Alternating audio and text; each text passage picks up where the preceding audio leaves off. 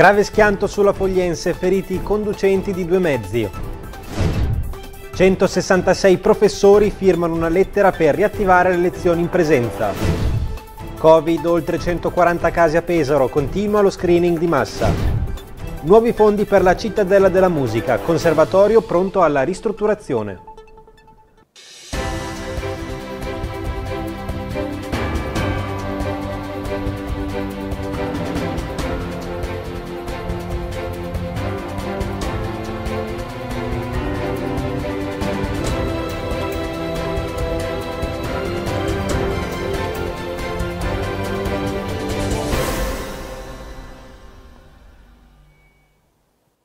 Una buona serata a tutti i telespettatori di Rossini TV, il canale 633 del Digitale Terrestre. Bentornati a un nuovo appuntamento con l'informazione del nostro telegiornale. Subito in apertura la cronaca per darvi conto di un importante incidente stradale che ha avuto luogo questa mattina lungo la statale Fogliense in località Montecchio di Valle Foglia. L'impatto ha visto coinvolti due veicoli, un furgone ed un'autovettura. Ancora da accertare i dettagli dello scontro frontale che ha richiesto l'intervento anche dei vigili del fuoco, i quali hanno estratto una donna dall'abitacolo della vettura in cui era incastrata. Entrambi i soggetti coinvolti nello schianto al momento del soccorso pare non fossero in pericolo di vita e sono stati trasportati in ospedale per accertarne le condizioni di salute. La circolazione stradale è stata interrotta per svolgere in completa sicurezza le operazioni di soccorso. Ancora la cronaca perché sono due gli uomini arrestati e oltre 2.500 le persone controllate con il bilancio delle operazioni svolte nell'ultima settimana dal compartimento di polizia ferroviaria per le Marche, Umbria e Abruzzo. Uno dei due soggetti condotti in arresto, un 43enne di origini rumene, era diretto a Pesaro ma è stato fermato dagli agenti della stazione di Ancona. L'uomo in evidente stato di ebbrezza aveva iniziato ad infastidire i passeggeri del treno regionale su cui stava viaggiando. Alla vista dei poliziotti, il 43enne ha reagito aggredendoli per poi tentare la fuga. L'uomo, dopo aver danneggiato anche gli uffici della polizia ferroviaria presso cui era stato condotto, è stato condannato a otto mesi di reclusione e al pagamento di una sanzione per il mancato utilizzo della mascherina. E parliamo ora di scuola perché sono 166 professori di diversi istituti superiori della provincia di Pesaro e Urbino che hanno firmato una lettera destinata a governo, regione e prefettura per chiedere il ritorno in presenza degli studenti a scuola. Vediamo il servizio. È stata firmata da 166 professori di varie scuole superiori della provincia di Pesaro Urbino la lettera indirizzata al governo, nelle figure del ministro dell'istruzione Azzolina e dei trasporti De Micheli, al presidente della regione Francesco Acquaroli e al prefetto Vittorio Lapolla per chiedere il ritorno in presenza degli studenti in classe. Gli insegnanti firmatari dei licei Mamiani, Marconi, Mengaroni, Nolfi Apolloni, Raffaello, Scuola del Libro e Torelli rimarcano come a metà settembre le scuole abbiano riaperto in sicurezza anche grazie alle importanti risorse economiche investite nei mesi estivi. Problematica per la quale invece non sono arrivate le risposte sperate è quella del trasporto pubblico. I docenti firmatari del manifesto sottolineano come le misure messe in campo all'interno degli spazi scolastici siano state continuamente osservate e rispettate da parte degli studenti, i quali però hanno dovuto fare i conti con la complicata organizzazione del trasporto pubblico, in primis ad esempio con il mantenimento della distanza minima di sicurezza sui mezzi. Un messaggio brutalmente antieducativo, scrivono i professori, che sottolineano come studentesse e studenti abbiano vissuto la percezione di una scuola pubblica che li tutelasse, a contrario delle difficoltà emerse nell'organizzazione dei trasporti. Altro nodo rimarcato dai docenti è quello della didattica a distanza, imposta da inizio novembre in forma integrale a tutti gli istituti superiori, a prescindere dal colore della regione misura che, come riferito dai firmatari, in nessuna forma può rappresentare un'efficace alternativa alla didattica in presenza, venendo a mancare il contatto reale tra studenti e professori e accentuando una sorta di isolamento digitale. Indispensabile, afferma quindi il corpo docenti, che ognuna delle istituzioni competenti si assuma la responsabilità della riapertura trovando le migliori soluzioni e possibilità che garantiscano la sicurezza dei ragazzi. Alcuni esempi illustrati dai firmatari si riferiscono all'utilizzo dei dispositivi di protezione individuale, ad una corretta rimodulazione degli orari delle corse dei mezzi e l'impiego di forze di pubblica sicurezza che possano vigilare sull'entrata e sull'uscita degli studenti, per scoraggiare eventuali comportamenti imprudenti. Il desiderio dei prof quindi è quello che si applichino tutte le risorse possibili per una pianificazione a medio e a lungo termine che garantisca una scuola sicura e in presenza, pronta a riaccogliere nell'auspicata riapertura del mese di gennaio anche gli iscritti delle scuole superiori.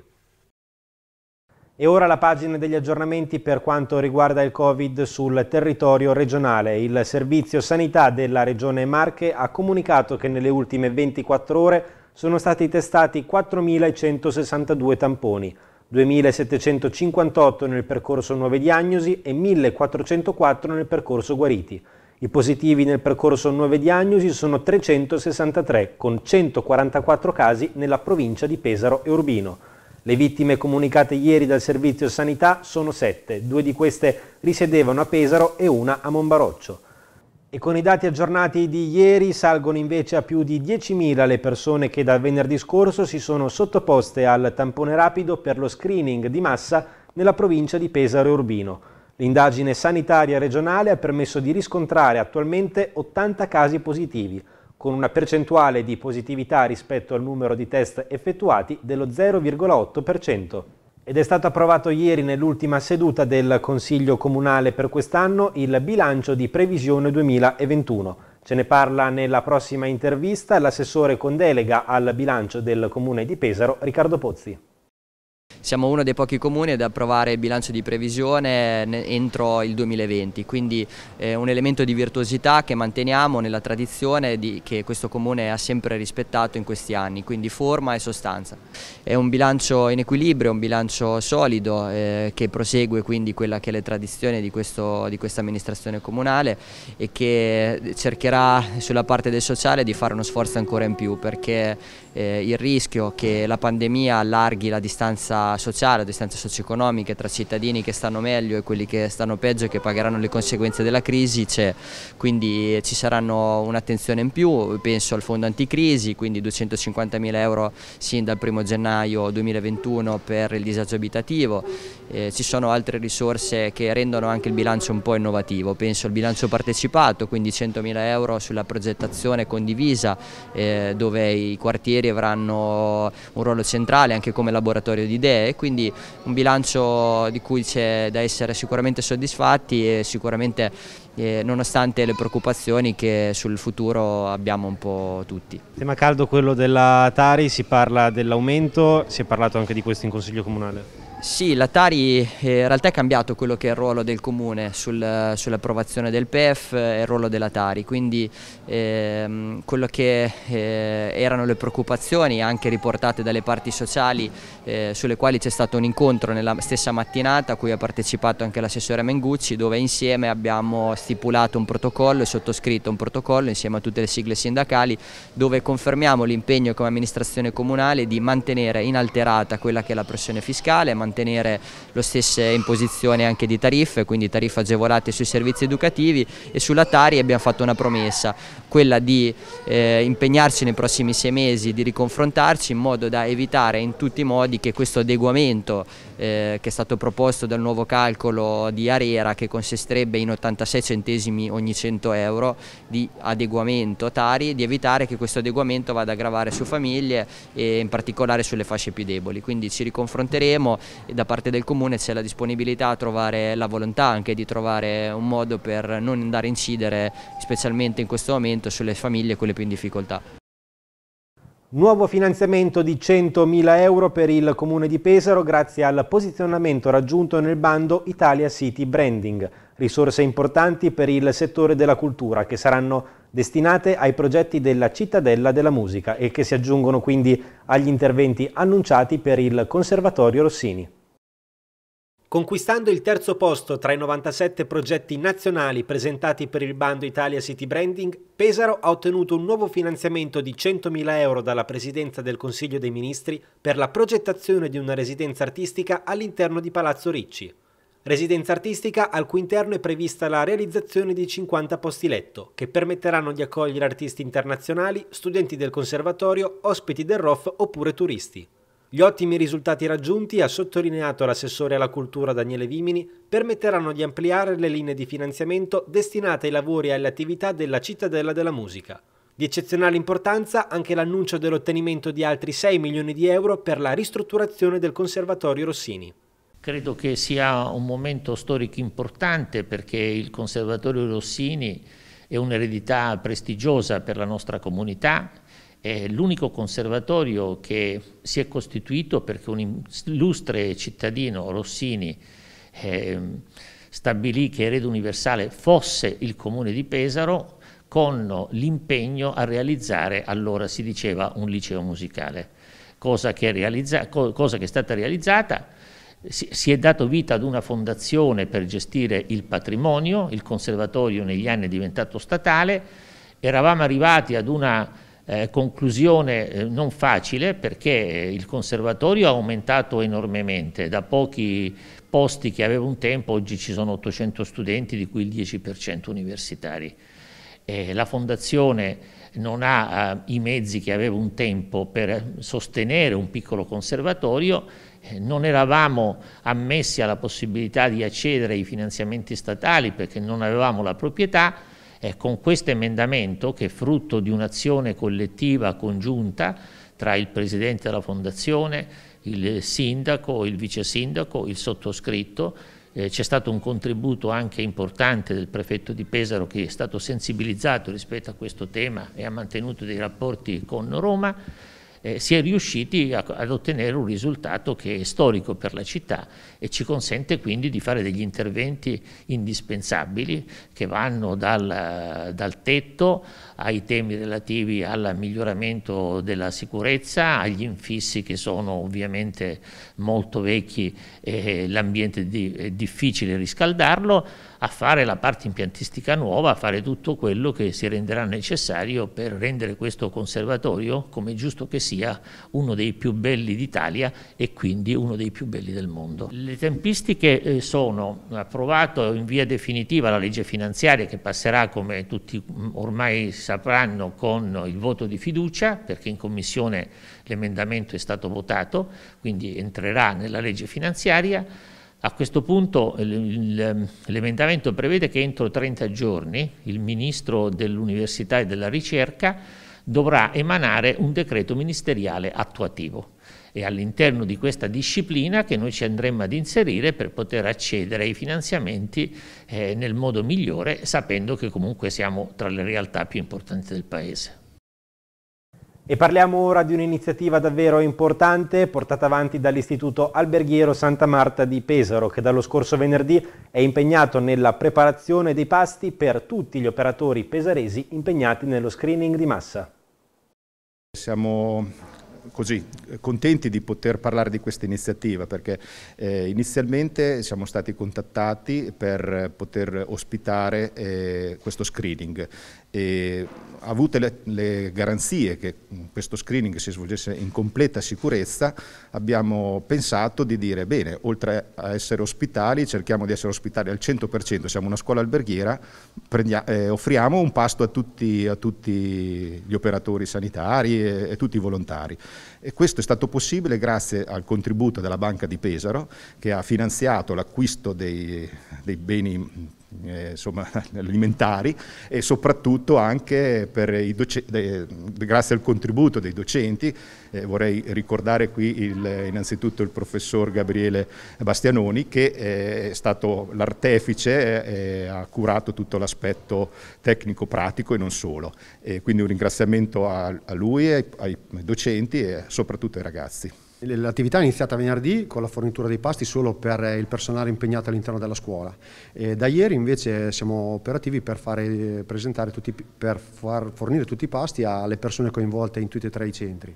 E in totale siamo sui 70-80 pasti che diciamo, noi ci, siamo, ci, stiamo adoperando per preparare in un'attività che per noi è del tutto nuova, perché comunque la fornitura di un pasto caldo in una situazione differenziata dalla nostra non è abituale. I ragazzi coinvolti sono i ragazzi delle quinte eh, quindi, e in un numero congruo a quelli che sono gli spazi, insomma, quelle che sono la, la normativa che prevede. E, gli insegnanti coinvolti, oltre a me, eh, sono tutti gli insegnanti che erano disponibili e, e in orario di servizio durante la mattinata e quindi il personale di cucina ma anche i tecnici di laboratorio, magazzinieri, tutte, diciamo, si è mossa l'intera macchina diciamo, dei laboratori e del personale che viene coinvolto nella, nei laboratori durante la quotidianità all'interno del nostro istituto. Inoltre sì, non, mancato, non abbiamo neanche interrotto tutte le altre attività per le classi, quindi abbiamo lavorato in sinergia con quello che era la quotidianità all'interno del nostro istituto ecco.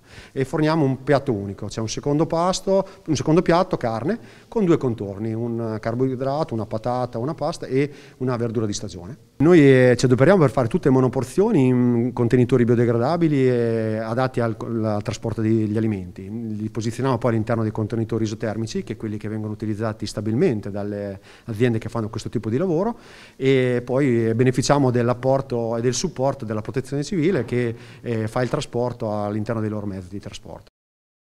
Riaprirà domani la RSA Bricciotti di Monbaroccio. La struttura tornerà ad essere attiva però solo parzialmente con i rientri scaglionati degli ospiti e l'occupazione dei 14 posti letto situati al piano terra della residenza sanitaria. Cinque gli infermieri ASUR che lavoreranno all'interno della struttura insieme al restante personale che era in servizio presso l'RSA già prima della chiusura del 3 ottobre scorso.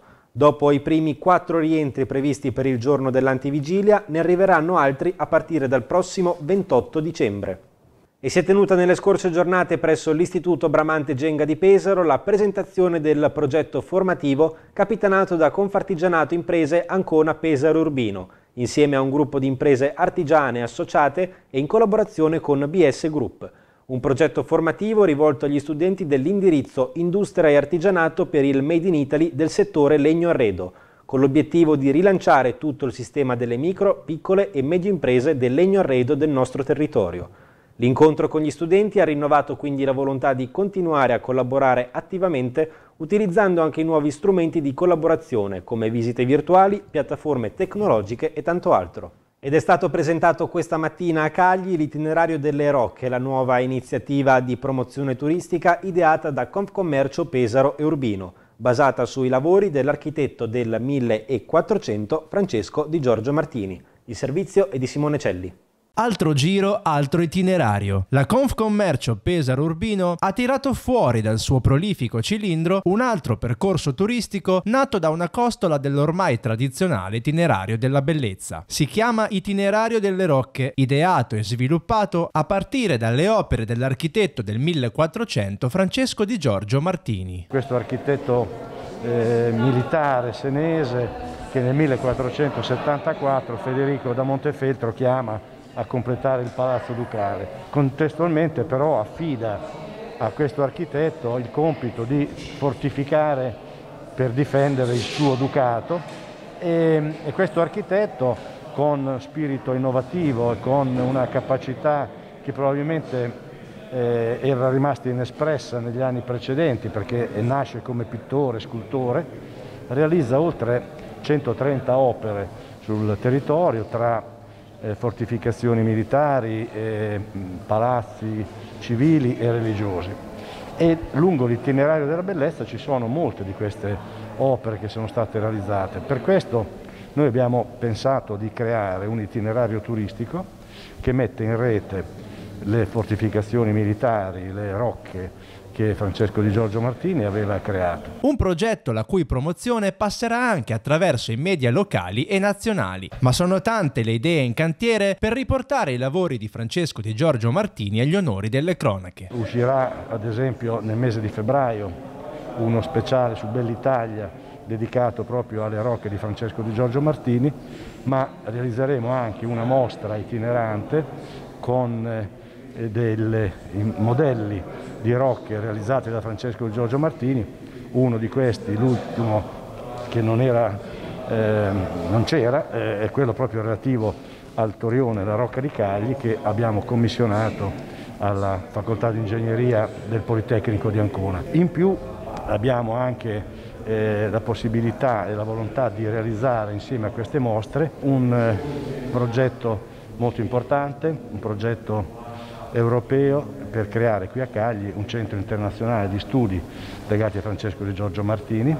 Ci sono già i contatti in tal senso con i frati che gestiscono il convento realizzato proprio sopra la rocca di Francesco Di Giorgio e eh, abbiamo chiesto anche la collaborazione di un'azienda molto importante a livello internazionale che è qui di Cagli, la Stark, per la realizzazione di alcune installazioni multimediali che speriamo anche oggi di poter vedere. Un'iniziativa ad ampio raggio dunque per i comuni aderenti, un importante assist per la valorizzazione delle proprie risorse storiche, artistiche e architettoniche. Diciamo che per noi la Rocca e il, e il Torrione di Francesco di Giorgio Martini sono i nostri fiori all'occhiello e rappresenta proprio il simbolo della città di Cagli, valorizzato attraverso questa iniziativa della Confcommercio e in più si aggiungerà in quest'anno, nel 2021, quindi nel prossimo diciamo, si aggiungerà la possibilità di eh, percorrere dal Torione che si trova al centro della città i 360 gradini che usciranno proprio mh, su alla Rocca dove ci sarà un restauro della stessa in quanto distrutta nel 1500 dal eh, Guido Baldo proprio per non permettere che il Valentino la potesse prendere insomma quindi bellissimo progetto incentiverà quello che era già il nostro ulteriore progetto di riapertura del soccorso coperto. E tornerà anche il prossimo anno Generazione Silver, il programma dell'associazione 50 e più che ha ottenuto un ottimo riscontro in queste puntate già trasmesse sulla nostra emittente Rossini TV. Ringrazio Rossini TV per averci concesso questo spazio, eh, a noi dell'associazione 50 e più e chi ci ha seguito eh, ha visto che abbiamo prodotto eh, una trasmissione dal titolo Generazione Silver dove abbiamo parlato dei problemi che riguardano la terza età. E, mh, mm, cogliamo l'occasione per eh, fare gli auguri di Natale, eh, ringraziare chi ci ha seguito, soprattutto se ha trovato eh, interessante la trasmissione. Se l'ha trovata interessante ho una buona notizia, l'anno prossimo ci sarà un nuovo ciclo e quindi ci eh, incontreremo e ci, ci, avremo nuovamente modo di eh, in, darvi le, le nostre eh, informazioni su questo settore che sta diventando importante. Come voi sapete la popolazione anziana sta crescendo eh, in maniera, non dico preoccupante, ma certamente impegnativa per la società. E a proposito di quello che succederà in futuro, cioè la replica di questa nostra trasmissione, chiediamo al presidente dell'Associazione 50 più, Alberto Dolci, di mm, illustrarci quali sono le intenzioni eh, dell'associazione che cosa ci riserva dopo le sorprese di quest'anno che sono state interessanti. La trasmissione, abbiamo già detto, e anche un convegno sul benessere in menopausa. Presidente, che cosa ci aspetta nel 2021? Ringrazio il, il, il collega Marcello Mamini che ha prodotto e condotto la trasmissione Generazione Silver per la domanda a proposito del, del 2021. È chiaro che le restrizioni relative al Covid ci obbligheranno purtroppo a non incontrarci ancora per diversi mesi. Naturalmente abbiamo ben presente che la parte di popolazione associata a 50 e più è quella più a rischio, di conseguenza stare lontani, distaccati è un, veramente un obbligo. Ciononostante vogliamo sempre tenere i contatti tra di noi, mantenere stretti i rapporti e cercare di fare un servizio agli associati e ai non associati.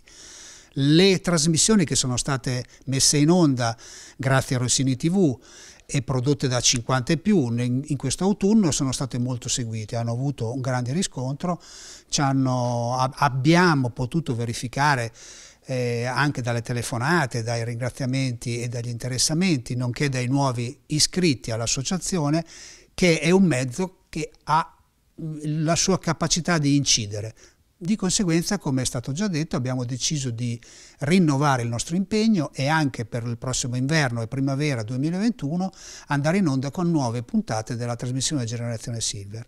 I contenuti saranno similari, ma ci saranno ovviamente anche delle novità a proposito di rubriche nuove che potrebbero essere anche relative a, a, alla cucina o altre metodiche relative alla mh, mm, benessere esteriore o anche a come ci si mantiene bene in forma. Ci saranno insomma tematiche nuove che renderanno ancora più interessante la trasmissione. Spero che ci seguirete con lo stesso entusiasmo e numerosi come avete fatto in passato e colgo l'occasione per fare i migliori auguri ai nostri associati e a tutti gli ascoltatori della nostra trasmissione di Rossini TV con la quale abbiamo collaborato in maniera proficua. Visto che non ci possiamo vedere dovremmo festeggiare da lontano ma tanti tanti carissimi auguri a tutti.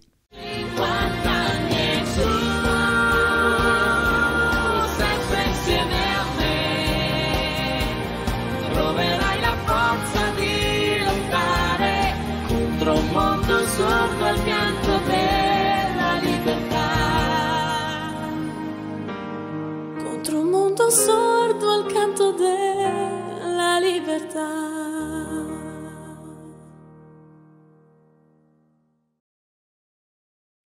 Questa mattina il sindaco di Pesaro Matteo Ricci ha piantato un ulivo all'ospedale di Pesaro, un segno di rinascita per il 2021 nel luogo simbolo di questo difficile anno che giunge alla conclusione. Un gesto per ringraziare medici, infermieri e operatori sanitari per l'immenso lavoro fatto e tuttora in svolgimento. Il primo cittadino ha poi affermato che si sta lavorando anche ad un'opera strutturale che possa rimanere nella storia della città, dedicata a tutte le persone scomparse a causa del Covid-19. Informare per sostenere una scelta consapevole, questo è l'obiettivo dell'iniziativa promossa dall'assessorato alla crescita che ha pubblicato sul sito del comune di Pesaro gli appuntamenti con gli Open Day programmati dalle scuole secondarie di secondo grado della città.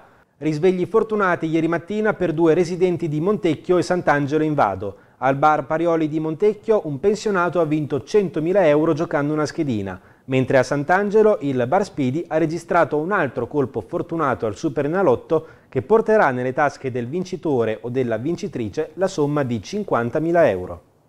E ora la pagina sportiva del nostro telegiornale, parliamo di Vis che è pronta a scendere in campo domani in trasferta contro la Fermana. Nel frattempo, nella prossima intervista realizzata per noi da Giorgio Ricci, il presidente Mauro Bosco traccia un bilancio di questa prima parte della stagione portata avanti dai biancorossi. Siamo contenti, siamo contenti. Io avevo chiesto punti e prestazioni alla squadra, penso che li abbiamo ottenuti entrambi, quindi è andata come, come volevamo, come desideravamo. Siamo, siamo, felicissimi, va bene così. Ecco, non vorrei interrompere la sua felicità, ma manca una, una giornata alla, alla, alla fine del, dell'andata e ora possiamo trarre qualche conclusione. È la squadra che lei si aspettava all'inizio?